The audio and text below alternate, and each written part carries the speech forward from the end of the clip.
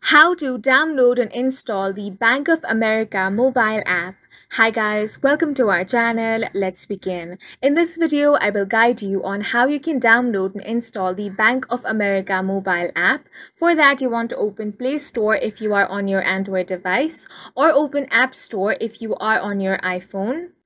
Now you want to tap on the search icon at the bottom right corner of your screen. Now tap on the search bar and search for Bank of America.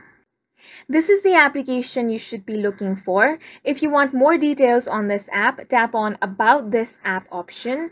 Here you can find all the information about Bank of America mobile banking.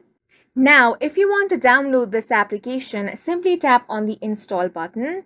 Once you tap on the install button, the downloading will begin. Once the downloading has been completed, it will be automatically installed on your device. All you have to do now is tap on the open option and then start using this application. And that's it for this video. If you found it helpful, please make sure to hit the like button and subscribe for more videos like this.